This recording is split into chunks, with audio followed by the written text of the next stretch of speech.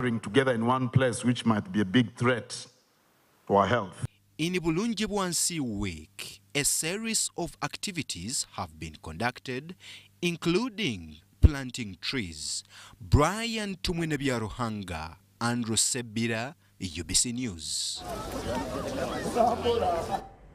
Makerere University is to put more emphasis on spiritual devotion for a holistic, godly relationship in the next 100 years. This was confirmed by the institution's chancellor, Dr. Ezra Suruma, during a corporate prayer breakfast meeting organized by Pastor Robert Kayanja, the lead pastor of Miracle Center Cathedral at Makerere University Freedom Square. Makerere University, the oldest higher learning institution in Uganda, Thursday commemorated 100 years of existence at a function presided over by President Yoweri Kaguta Museveni. Just after the celebrations, Friday morning, the university's top management attended a prayer breakfast meeting organized by Pastor Robert Kayanja. The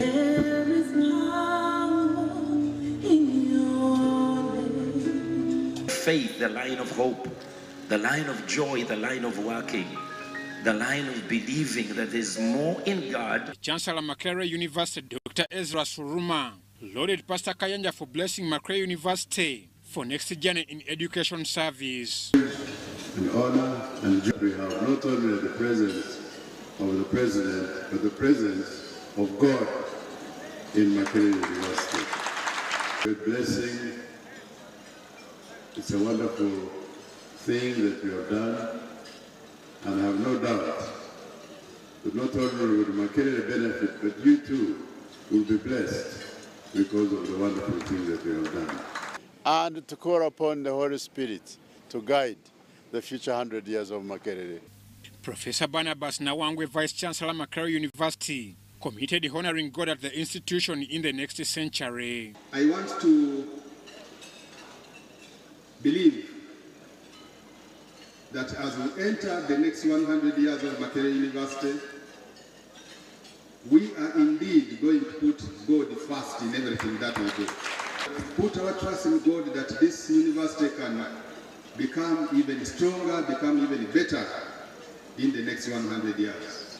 It is therefore very important that we have these activities that are honoring God. The patron Miracle Center Cathedral Church is Pastor Robert Kayanja asked Makerere University management to gazette space for him to build a student center for mindset change. A little place somewhere where we can be a blessing and put a dream center for generations to come. When you are retired or anybody else retired, so that you can continually come to the campus, not to disturb the management, but probably to find a student who will be there. A place where they can find counseling, a place where they can find solace, a place where they can come and their dreams before they leave university. I'm Ivan Juko for UBC News. Members of the minds The Independence Constitution of Uganda was among the key milestones to Uganda after it getting its independence on the 9th of October 1962. Now, since independence, Uganda has been uh, with four constitutions, which include the current 1995 Independence Constitution of 1962, the Pigeonhole Constitution of 1966, and the Republican Constitution of 1967. Our reporter Deborah Namamonde looks at the development of the four constitutions held in post-independent Uganda as the country celebrates 60 years of its golden independence jubilee.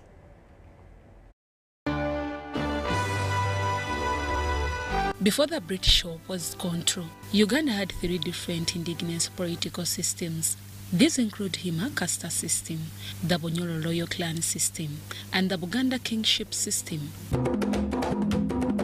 Buganda being a strategic kingdom and its engagement with the colonialists, it succeeded in acquiring most of the administrative powers, including collecting taxes among other roles. Like other territories in East Africa which were colonized, high courts and appeal courts were established. These include, among others, a special commission to perform executive, legislative and judicial powers.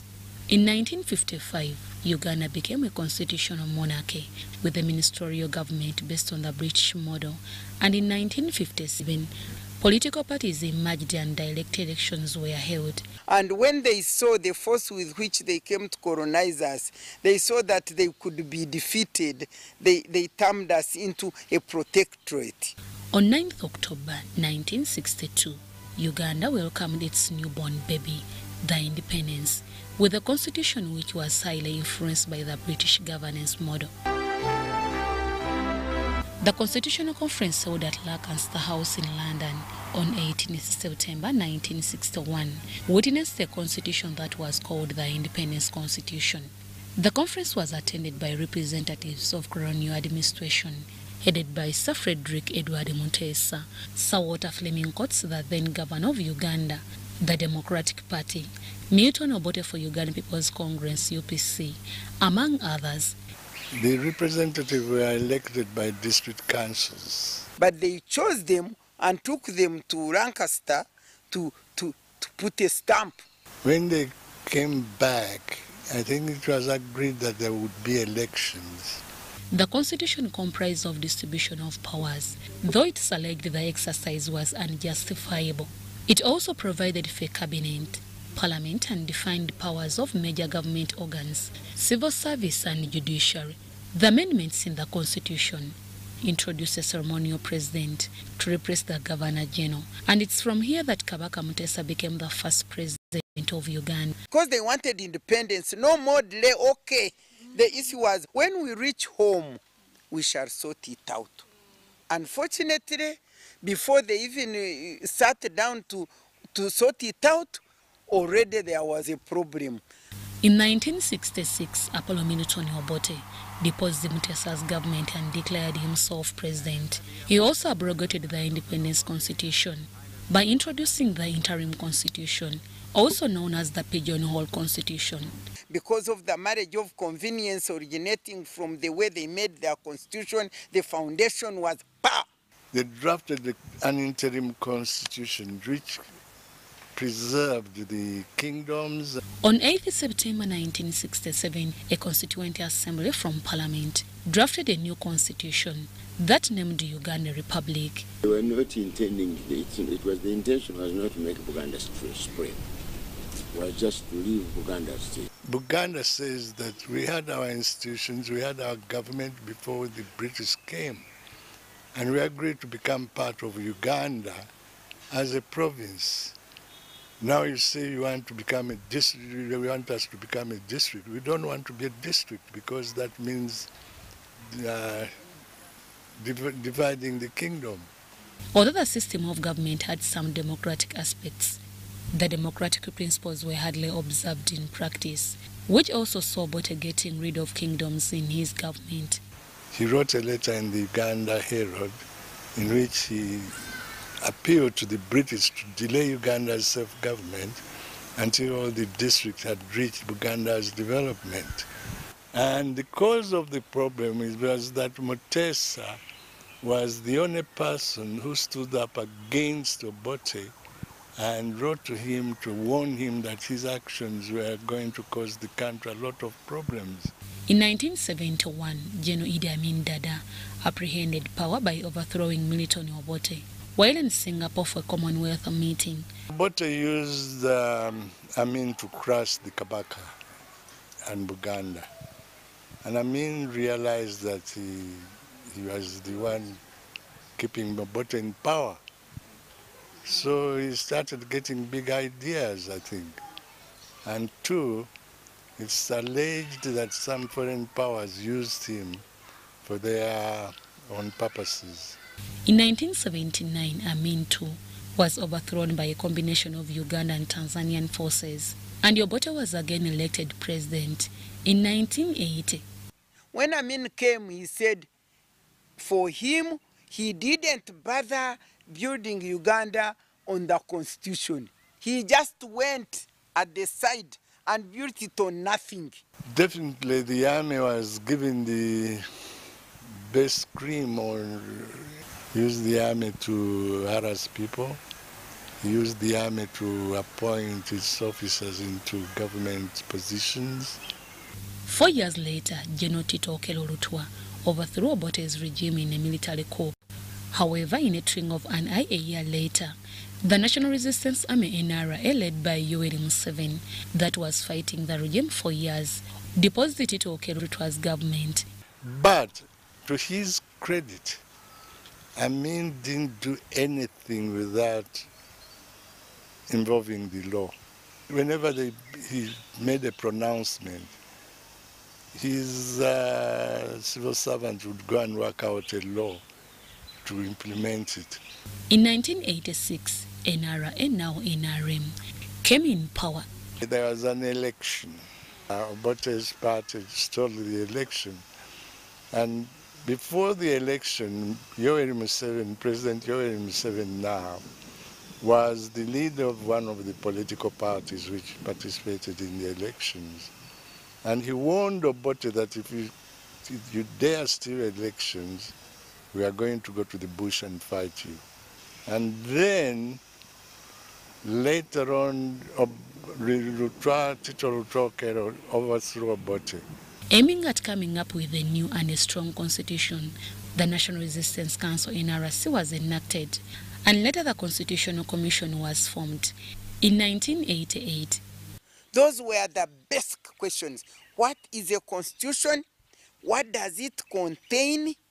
And why do we need one? in December 1992, Ugandans preferred a constituent assembly directly elected by the people. We came back from there. We now structured, I think, the training materials on which top, topic subjects we are going to discuss.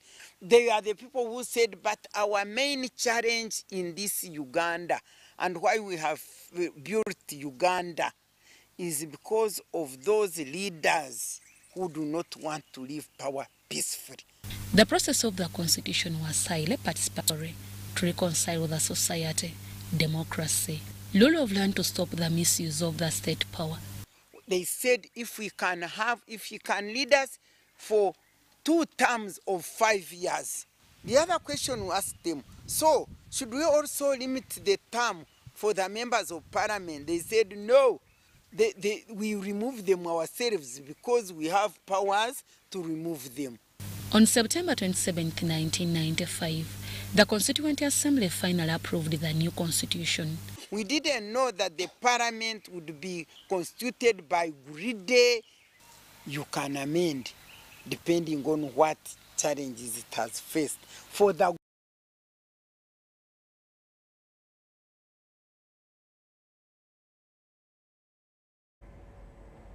Minister for Lands, Housing and Urban Development Judith Nabakooba has challenged all stakeholders engaged in the housing sector to ensure that all Ugandans are considered and catered for as Uganda moves forward to avail quality shelter to its citizens.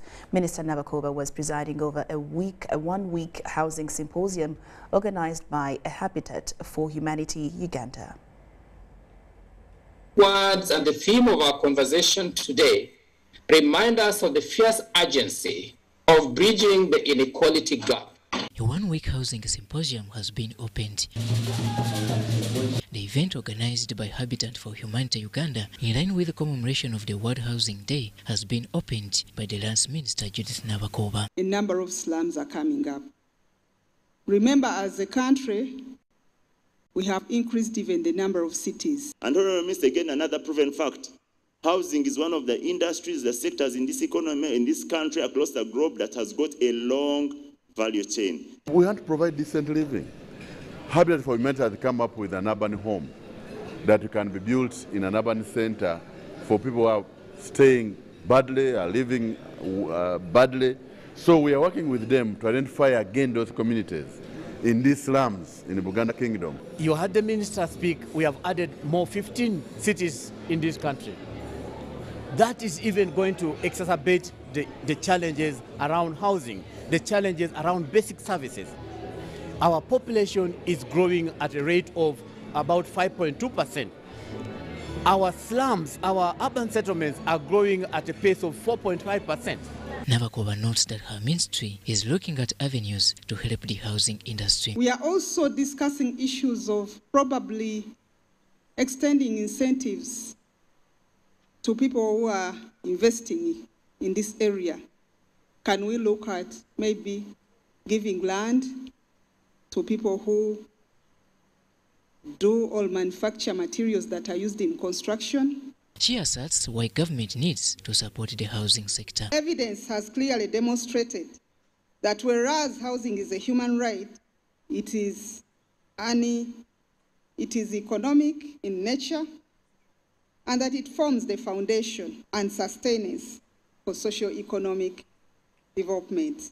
Mr. Nawakoba, however, is saddened by the fact that many low earners continue being dumped into slums at the expense of creating better shelters for the rich.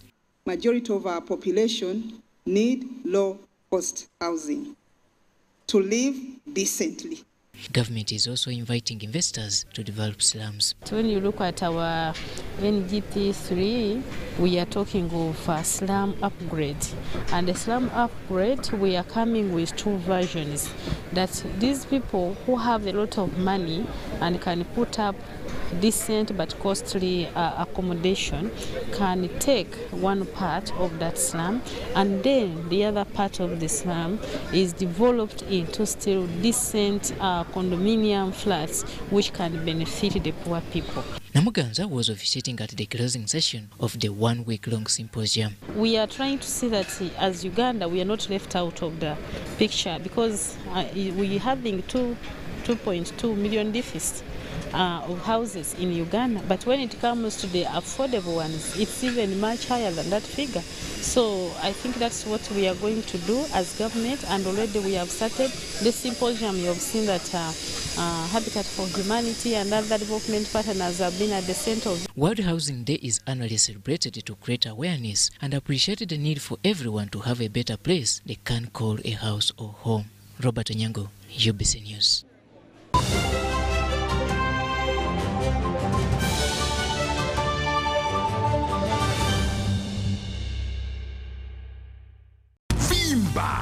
MTN Kabode Super as you pay mpola mpola for this smartphone.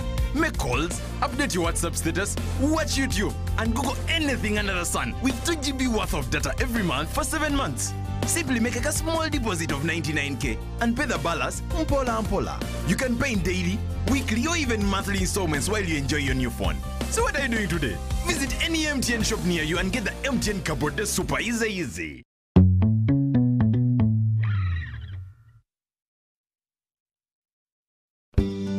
At Timex Nutrition Center, we advise you on the right foods to eat, exercise profile to adopt, and lifestyle strategies which are compatible to your blood group and genotype. This empowers your body to prevent and treat many diseases like diabetes, blood pressure, arthritis, ulcers, obesity, and many others. For more information, find us at our head office in Kampala on Nasser Road, Conrad Plaza, second floor, or call 0758 819 952 or 0778 288 361. We also have other branches in Bara and Jinja.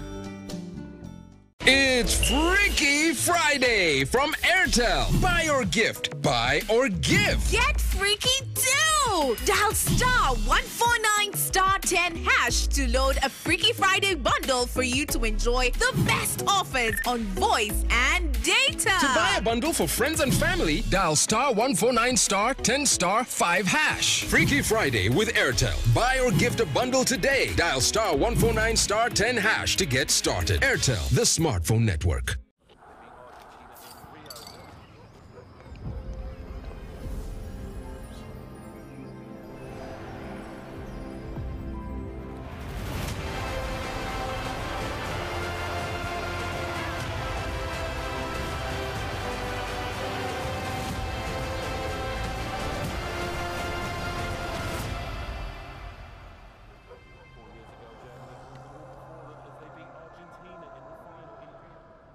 Fellow Ugandans, did you know that we are losing wetlands at an alarming rate?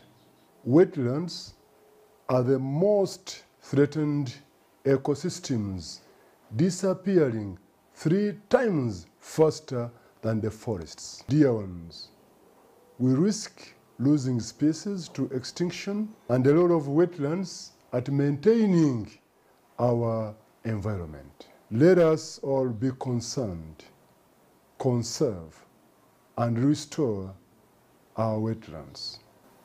In the name of God the Father, the Son, and the Holy Spirit. Amen. This message is brought to you by the Ministry of Water and Environment, Ministry of Agriculture, Animal Industry and Fisheries, Uganda National Meteorological Authority, in partnership with the Interreligious Council, with support from Government of Uganda, Green Climate Fund, and the United Nations Development Programme.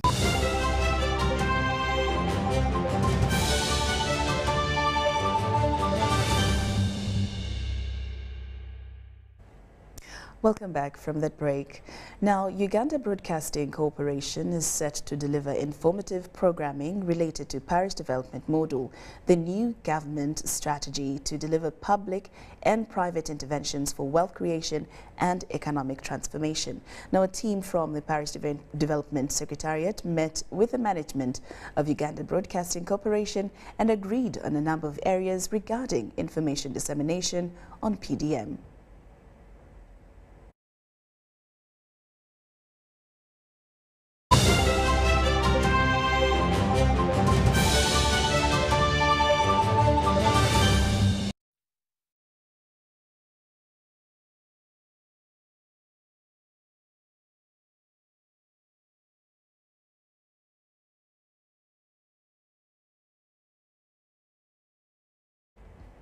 All right, we'll be getting back to that story in a bit. Now, the Minister for Gender, Labour and Social Development, Betty Amongi, has called upon the Equal Opportunities Commission to create means of ensuring that gender and equality prevail in respective government institutions to curb on imbalances across the country. Minister Amongi communicated this during the launch of the Equal Opportunities Annual Report on the state of equal opportunities in Uganda at a function held at the Office of the President here in Kampala. 55.1% of the complaints received and registered by the Equal Opportunities Commission as per promoting equal opportunities for all in the country were successfully resolved by the Commission. This is contained in the ninth annual report launched by the Equal Opportunities Commission on the state of equal opportunities among government institutions, departments, and civil society organizations across the country. The report is aimed at redressing imbalances for the financial year 2021-2022 and ensuring equal opportunities among Ugandans. Uh, always uh, our reports have thematic areas, and this year's thematic areas were in the areas of, of transport, works and transport, in health, uh, in access, in trade, that is, we looked at access to, to local markets and capital. We found out that uh, their number of women, 3.2% of women, are actually going to TBAs, yet that is dangerous. While launching the report, the Minister for Gender, Labour and Social Development, Betty Amongi, commended Equal Opportunities Commission for the report that aims at creating equity and equality in the country. This report contributes to the promotion of equitable development because this report is very vital because it is putting pressure. It is telling finance, do this for equity. Gender, do this if we are to achieve equity and equal opportunities. Minister Mong, however, urged the Equal Opportunities Commission to create means of sensitizing government institutions and agencies on how to eradicate gender imbalances. This commission is supposed to put in place mechanism for us to realize a just and fair country where all of us in this country can have equal opportunity, can participate, can contribute, and can benefit all within the context of achieving development. The chairperson of Equal Opportunities Commission, Hajat Safia Nalejuko, highlighted on the achievements of the commission in the last financial year. Previously, uh, in our education system, in the rural areas, maybe in Lango sub-region where you come from, you may not have seen so many young children going for nursery education. And yet it is important. So, but with our advocacy, we have been able to advocate for that and to make sure that that early childhood education is included in NDP 3. Although a lot was achieved by the Commission, there were also unavoidable challenges that limited service delivery. It's a problem which actually is coming as one of our emerging issues, the rampant land evictions. Our land is a primary factor of production, and all the government programs like PDM, uh, their success will actually depend on uh, uh, people having land. The ninth annual report of Equal Opportunities Commission was set under the theme Unlocking Socio-Economic Potential for Inclusive Development. Rebecca Natongo, Susan Nabugude, UBC News. Now, local governments have been tasked to come up with ordinances on environmental conservation campaign to enhance policing for clean and green environments everywhere. This as Uganda is grappling with life-threatening effects of climate change like drought and floods. In a bid to heighten advocacy for environmental conservation, climate change crusaders have resorted to hawking the campaign in institutions of higher learning. Led by Uganda Dialogue Arena, UDA, a section of climate change sensitive organizations has held an inter-university debate at Kyambogo University highlighting the importance of achieving net zero emissions by 2050. The Minister for Education and Sports, Janet Kataaha Museveni, was represented by Kyambogo University's Deputy Vice Chancellor, Professor Fabian Nabugoomu. I want to applaud uh, Frederick T. Meta, founder of UDA, for coming up with such an idea to mobilize young intellectuals to develop society and positively contribute to it, and also the organizing committee of UDA and that of Kyambogo University. Professor Nabugomu underscored the importance of recruiting young university students for further advocacy of environmental conservation. We must all be involved. We must plant trees in our homes. We must uh, show young people how to manage the environment, how to look after watersheds, swamps, and protect them. We must not just talk, we must act. The best time to tackle climate change was yesterday. So if the, the youth don't stand up now, it's going to it's going to lead to very disastrous effects in future, possibly effects that are even not not not, not reversible. Frederick Musimenta, the executive director, Uganda Dialogue Arena, notes with concern the increasing cases of environmental degradation, blaming it on poor policy implementation. Musimenta is of the view local governments should wake up from their comfort zone and take charge of environmental matters. You don't need to wait for the central government. You wait the, local government. What is the local government doing in those in those districts? Let them be at the forefront of fighting climate change. This is and bylaws, and those should be accompanied by very very punitive measures, strong measures, so that if you got in the wrong, you pay heavily. If the penalty is heavy, you are locked up. You are told to pay a million shillings. Trust me, this person will not do it again. Representatives from partnering organizations also concur with this line of thought. This is when we come in as a development partner uh, to add a, a brick to what government is doing, and, and that brick is sort of getting uh, the funding into the country uh, to support uh, groups of this nature. Because uh, it is one thing for people to make policies, but it is another thing for society to understand that those policies actually apply to them.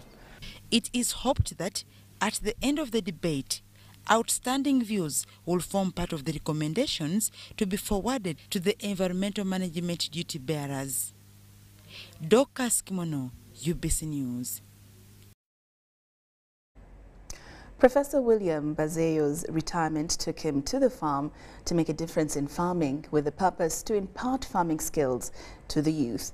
Professor Bazeyo decided to start farming on a one square mile piece of land in Chikangula sub-county, Nakasongola district under the Orchards House farm. We have a detailed story. Look at this.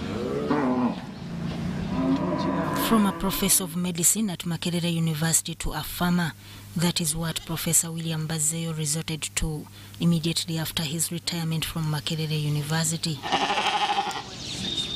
Each one is how much? 1.6. What? located in Nakasongola on a one square mile of land. Professor Bazeyo ventured into fattening bulls, rearing goats, and sensitizing farmers, among others. Thought we would make a difference in farming. Farming with a purpose, farming to bring in uh, new knowledge to the farming sector, to bring in students, farmers, and everybody to learn, and we learn together. Bazeo says farming needs consistency and is optimistic that it can increase income. At Orchids House Farm, there is simple mechanized farming by growing different crops and increasing the quality of meat. It needs to be particular so that you do not just buy chemicals and chemicals and you do not benefit. I personally believe that farming is, is worth doing, farming is profitable, and farming can be good. And it will also help improve the income of this nation. If we have quality crops, quality products, we'll be able to export them. The Orchids House Farm is organizing a field tour to exhibit to people that have supported them and to bring in as many people to learn. Bazeo says the bulls reared here are of good quality and on demand for export. We do fattening for bulls, we fatten borans, we prepare food for them, we grow food for them, and we fatten them and feeding them, our expectation from them is each bull to add on at least 0.9 to 1 kilo per night. And these bulls have quality acceptable meat internationally. Everywhere. The field day will be an eye opener with a practical field tour on what can be done in agriculture, like feedlot management systems, herbs and species production, and mangoes for export, among others. Crops that we have been growing in the, in the greenhouses, including basil, the umjaja, the commonly known umjaja, which is so marketable all over the world, especially in Europe, and many other crops. Among the activities of the day will be awarding final students with certificates since the farm is a training ground for those who want to acquire farming skills. Sudat Kaye, Zahara Bigaba, UBC News. A number of civil servants in Kalaki district are being investigated over corruption. Among the cases that are being investigated include the 350 million Uganda shillings meant for the rehabilitation of Abakalang Idakaman Surambaya Road. Minister of State for Teso Affairs, Dr. Kenneth Ongalo Obote, made this re revelation while presiding over the ceremony of Teachers' Day in Kalaki district. During the last financial year, the Ministry of Test Affairs dispersed 350 million shillings to rehabilitate Abalang Idimakan Surambaya Road in Kalaki district. However, to his dismay, the Minister of Test Affairs, Dr. Kenneth Ongalo Obote, realized there is no value for huge amounts of money spent on the construction of the road. Before it was worked on, we were able to drive about 10 kilometers and then we got stuck. We could not continue we had to turn around and come back. So the other day we went after it had been worked on. This time we could only drive for one kilometer and we got stuck. The road is now worse than it was before it was repaired. The district leadership, however, attributes this to the current torrential rains that have ravaged a number of roads across the country. Because you cannot tell me that, oh, we repaired the road, but it rained. You are supposed to repair the road with rain in mind. It is going to rain. Now, uh, I don't know whether the people repairing this road are the ones who have been causing us famine because they don't want it to rain. Otherwise, the rain will wash the road. Some of other cases that are being investigated in the district include drugs which allegedly disappeared at Bululu Health Center 3 and bribes taken by the District Service Commission to award jobs. I was only told recently that drugs disappeared in Bululu, they are being investigated. I have nothing to do with it. I am told some members of the District Service Commission were arrested for soliciting bribes. Now, if they did that, that is wrong. Because when you solicit a bribe to give positions, that is how we get the wrong people in critical positions. The alarming cases of corruption prompted the security officials to condone the district headquarters to pave a way for investigations. It is the question marks which led to the closure so that documents are accessed and we clear those who need to be. Because, you know, an allegation of corruption is a very bad tag to attach to someone. That's why it needs to be carefully scrutinized. Those who have done no wrong should be allowed to live. Minister for Teso Affairs, Dr. Kenneth Ongalo Obote, vowed to wipe out the corrupt officials in Teso during his tenure. But I want to assure you, we are going to turn this district upside down. We are going to stand it on its head and shake stolen money from people's pockets and get it out. I can assure you that. If you steal, we will catch you. We will. Politics or no politics. Who told you that I am going to stay an MP forever? I am not. But what I do stays on forever. People will remember that. Among other districts that are being investigated in Teso sub-region include Ngora, Soroti, Kumi and Bukedia. Joseph Oko, UBC.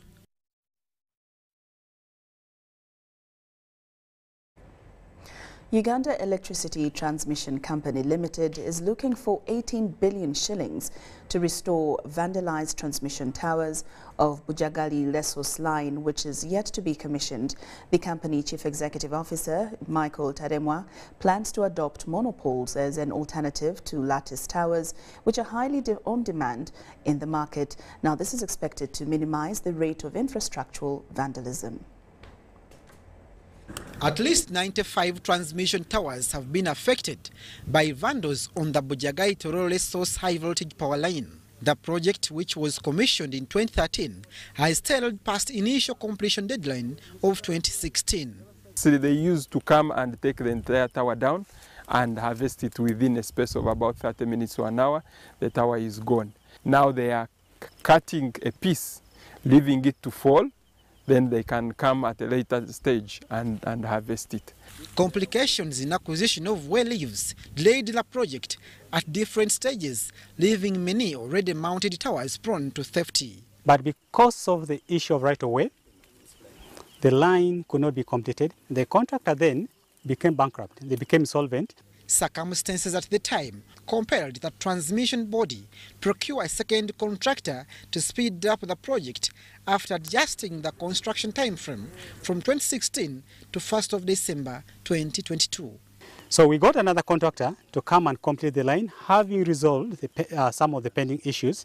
But now we had this emerging issue again, which is worse than what we had previously. So the current date of completion is December 2022. But like you've seen, that's not going to be possible.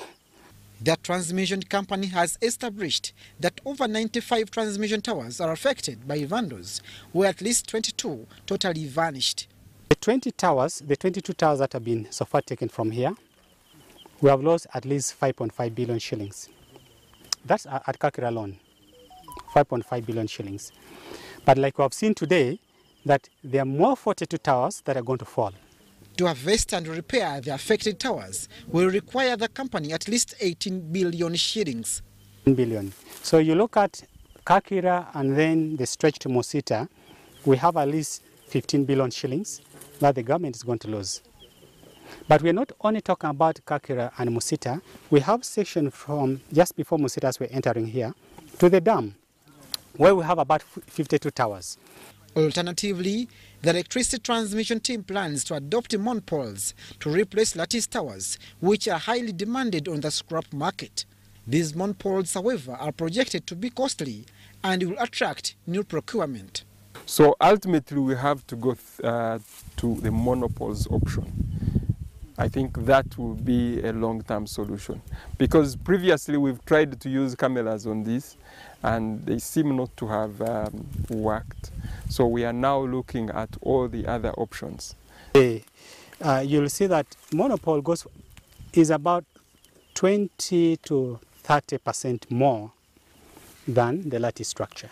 This Bujagali Tororo Resource High Voltage Power Line is a cross-border trade power line investment, taking power to Kenya, and any economic sabotage directly affects Uganda's foreign exchange and impacts directly on the East African community relations. Abdul Nasser Lubwama, UBC News.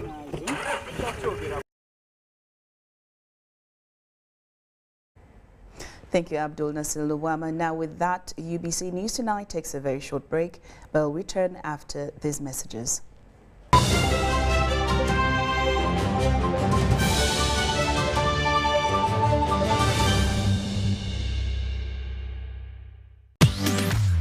It, it, share it. The 4G Wakanet MiFi. Pocket it, use it, enjoy it. Visit any MTN service center or Banana Phone World outlets. Get it at 75k. The MTN 4G Pocket MiFi is it.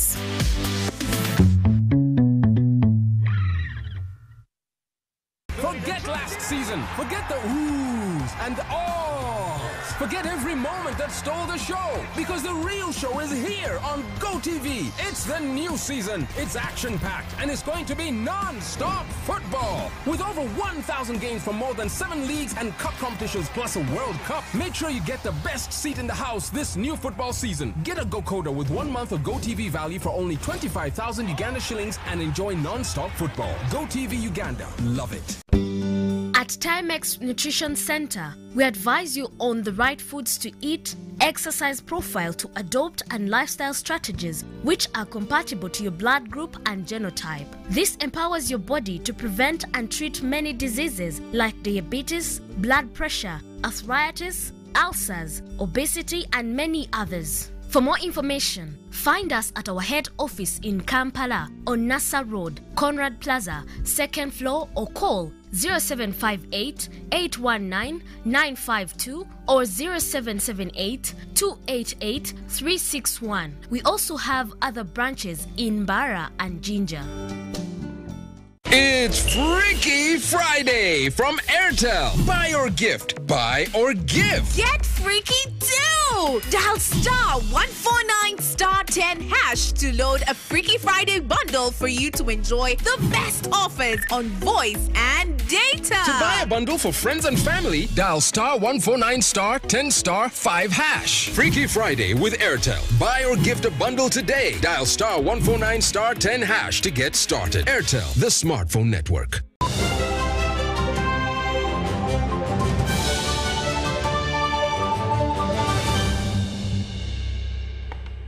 Welcome back. And now into the business scene. The Ministry of Finance has released the funds for quarter two expenditure and orders all financial officers to prioritize payment of service providers in time to curb accumulation of arrears. Now, this call comes at a time when the country has for the first time registered a double-digit inflation since 2012.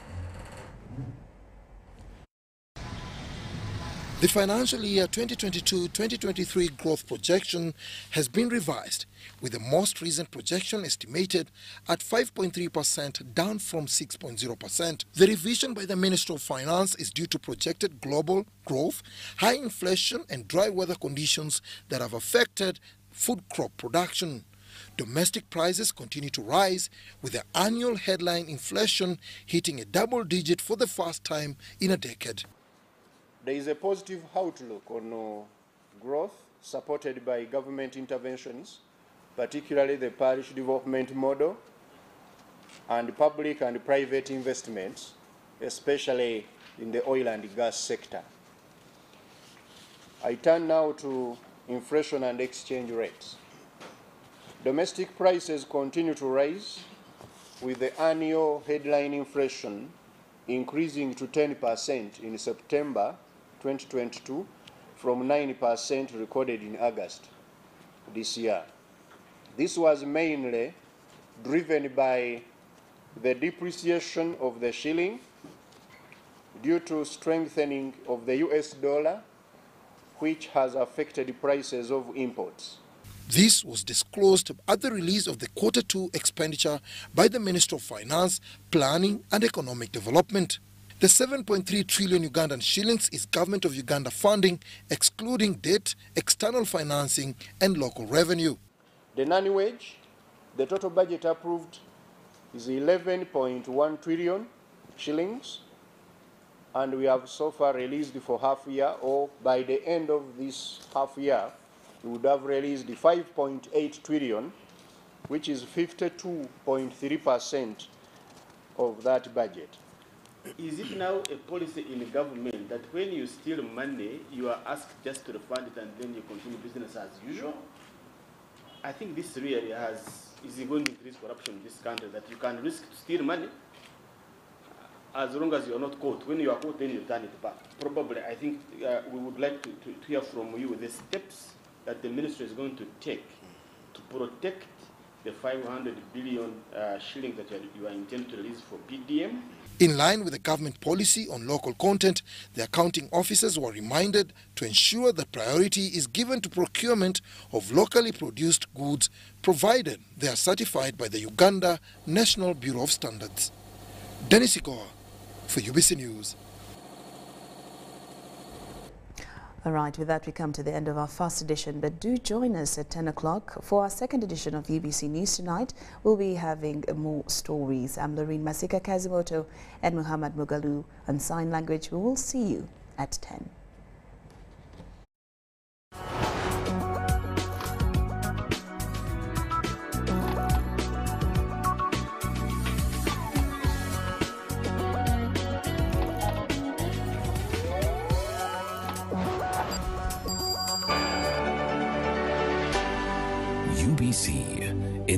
Inspiring Uganda.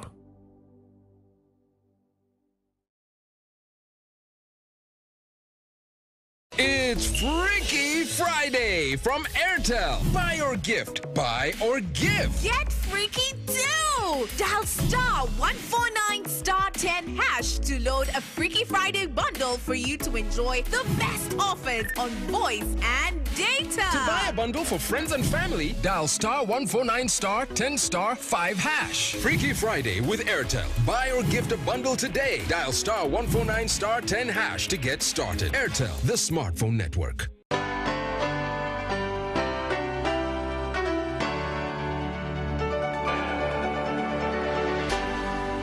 UBC, inspiring Uganda.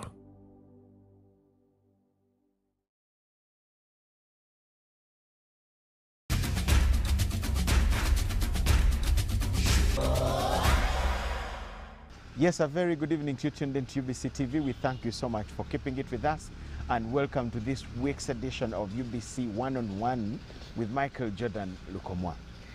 On the 9th of October, that is this very Sunday, Uganda is going to celebrate 60 years of self-rule, that is independence.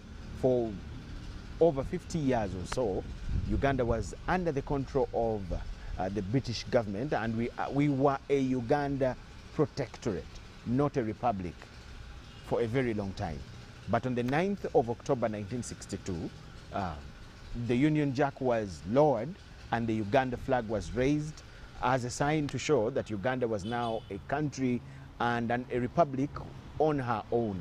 Since then, it is 60 years and we're going to celebrate on Sunday. We are going to focus on that and I have a senior leader in this country. So we are going to look on the historical path of the 60 years and we're going to look at a few things that we'll manage to look at in this time. This is not his first time on our show. Uh, this is the second time and we are so glad. Join me welcome uh, Dr. Paul Kawanga Ssemogerere. He is the former Democratic Party president and also a senior leader in this country, a two times presidential candidate